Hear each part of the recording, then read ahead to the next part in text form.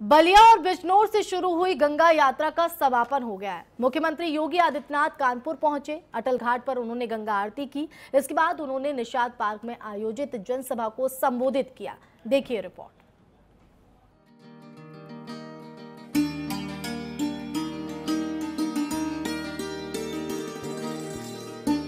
सांस्कृतिक विरासत की साक्षी गंगा की धारा को फिर से अविरल और निर्मल बनाने के लिए सूबे के मुखिया योगी ने बेटे की तरह माँ गंगा की सेवा की, उनका सत्कार किया।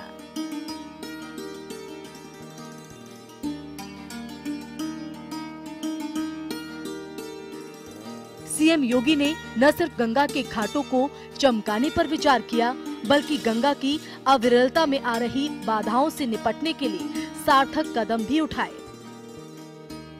गंगा की निर्मलता और गंगा को धर्म के साथ, गंगा को अर्थ के साथ, गंगा को भारतीयता के साथ जोड़ने के संकल्प के साक्षी भी बन रहे हैं। बिजनौर और बलिया से गंगा यात्रा की शुरुआत कर सीएम ने फिर से माँ गंगा की सेवा का बीड़ा उठाया है।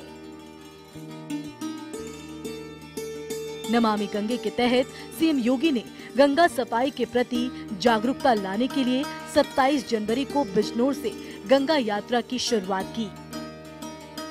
पाँच दिन तक चली यात्रा 31 जनवरी को कानपुर में जाकर समाप्त हुई। किसी को भी इसके साथ खिलवाड़ करने की इजाज़त नहीं देंगे। माँ गंगा की कृपा है। आज हम सब माँ गंगा के प्रति कृतज्ञता ज्ञापित करने के भाव के साथ यहाँ पर उपस्थित हुए हैं। गंगा यात्रा के ज़रिए प्रदेश सरकार पर्यावरण और गंगा सफ़ाई अभियान के प्रति लोगों को जागरूक करने के अलावा गंगा किनारे बसे गाँव का विकास चाहती है।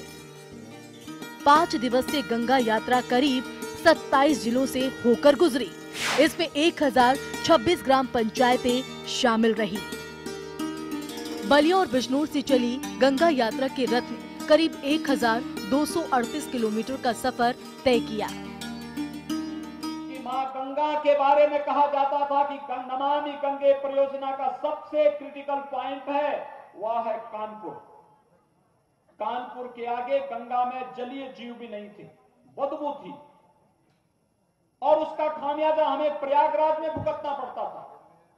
अभी यहाँ पर उप मुख्यमंत्री श्री केशव जी कह रहे थे कि विगत वर्ष जब प्रयागराज में कुंभ हुआ था तो कुंभ के आयोजन में 24 करोड़ छप्पन लाख श्रद्धालुओं ने गंगा जी में डुबकी लगाई थी। डुबकी इसलिए लगाई थी क्योंकि गंगा निर्मल थी। यात्रा को सफल बनाने के लिए योगी सरकार को केंद्र का भी साथ मिला। इस ऐतिहासिक यात्रा में केंद्र सरकार के 10 मंत्री शामिल हुए। इसके अलावा राज्य सरकार के सभी मंत्री, विधायक और बीजेपी के लोकसभा सांसदों ने यात्रा में अपना योगदान दिया।